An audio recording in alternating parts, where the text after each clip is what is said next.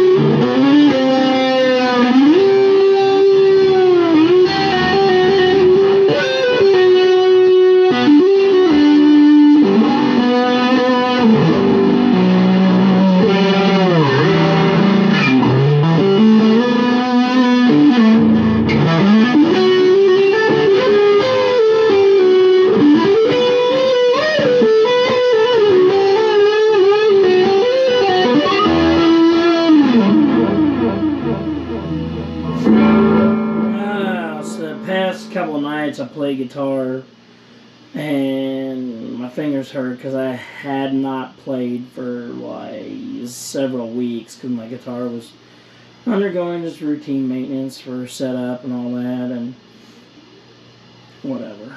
So, um,